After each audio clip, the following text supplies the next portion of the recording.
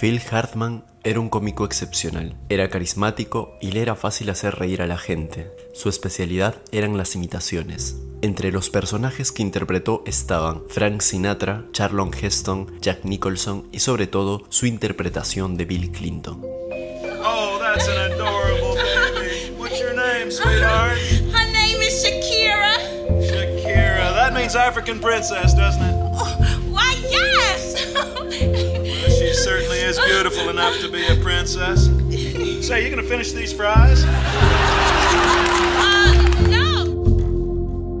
Otro de sus talentos era el doblaje, considerado un maestro para la elaboración de voces. Phil, durante 7 años, puso más de 20 voces para distintos personajes de la serie animada Los Simpsons. Entre sus personajes más conocidos estaban el abogado trucho Lionel Hutz y el actor glamoroso Troy McClure.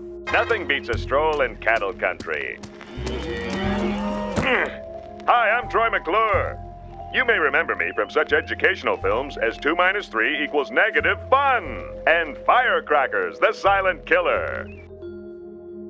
Sin embargo, el 28 de mayo no fue su voz la que escuchó la policía, sino la de Ron Douglas, un amigo íntimo de Hartman. Él fue el encargado de dar aviso que su amigo había sido acribillado nada más y nada menos que por su propia esposa. We begin with the murder investigation that has stunned the entertainment world. Phil Hartman, who gained fame on Saturday Night Live, was found shot dead in his home, apparently killed by his wife, who then committed suicide. ABC's Carla Wool has more from Los Angeles.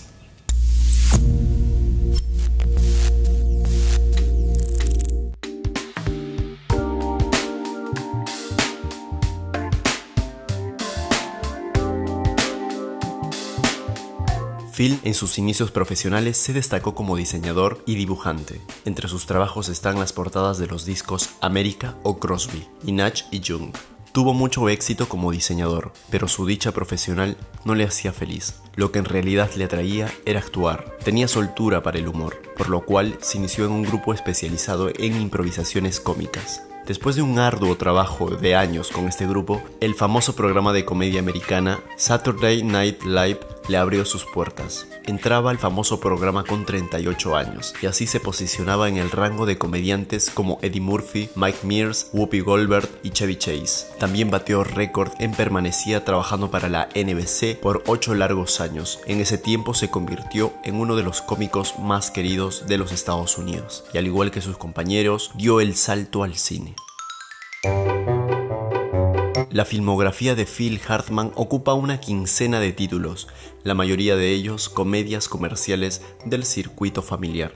Debutó en 1993 haciendo de extraterrestre en la película Los Caraconos. Lo vimos también en películas como Sargento Pilco, Con el arma a punto, Pequeños Guerreros o haciendo de vecino insufrible de Schwarzenegger en la comedia navideña Un padre en apuros. Es así que la carrera de Phil se orientaba cada vez más a la actuación. Todo parecía andar relativamente bien en lo profesional, excepto en su matrimonio, ya que los problemas con su esposa iban en aumento.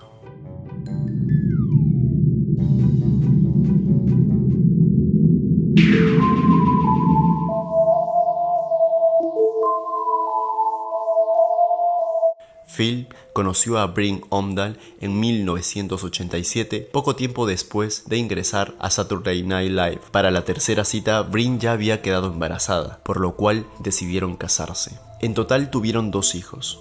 En su momento, ambos parecían la pareja modelo que todos anhelaban, pero a su esposa le ocurría un problema. Profesionalmente, ella se sentía insatisfecha. Quería ser famosa, tener una carrera de éxito al igual que su marido. Eso la llevó a obsesionarse con su aspecto, convirtiéndose en una adicta a las cirugías estéticas. Sin embargo, las ofertas de trabajo no llegaban. El único papel que consiguió en un gran estudio actuaba de una camarera con dos frases en guion. Brin se deprimía cada vez más. Esto la llevó a abusar del alcohol y sustancias ilegales. Phil, para ayudarla, anunció en una entrevista el lanzamiento de un proyecto en el que actuarían él y su esposa.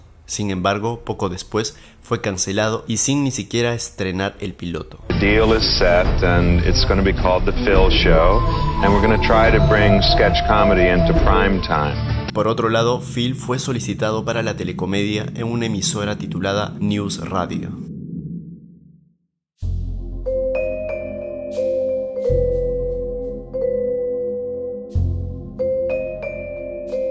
Era 27 de mayo de 1998 cuando Brin salió con su amiga por unos tragos. Al volver, llegó totalmente ebria y drogada. Ya en casa inició una fuerte discusión que algunos vecinos escucharon.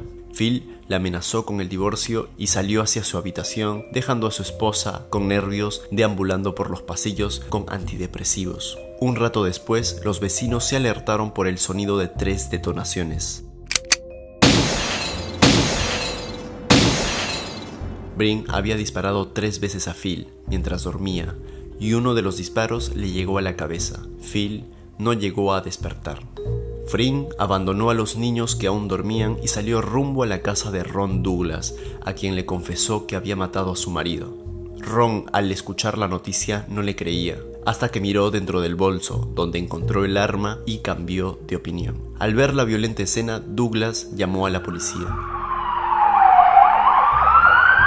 Los agentes trasladaron el cuerpo de Phil y a los niños que aún no se habían enterado de nada. Y frente a todo pronóstico, en uno de los descuidos de los policías, Brin salió corriendo encerrándose en su habitación. Pasando los segundos se escuchó otra detonación. Brin terminaba con su vida con un disparo en la sien. Al encontrar el cuerpo de Brin y luego de una autopsia, se encontró en el cuerpo abundante alcohol y cocaína y un potente antidepresivo llamado Zoloft. Según los médicos, la combinación de alcohol y drogas provocaron un brote psicótico violento que produjo el fatal escenario.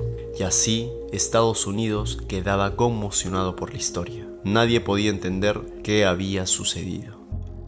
Esto fue Series Infinito. Si deseas apoyar el canal, suscríbete y toca la campana para que te lleguen las notificaciones. Pueden buscarnos en Instagram, Facebook y Twitter, donde encontrarán mucho más material. Sin más que decir, gracias y nos vemos en la próxima.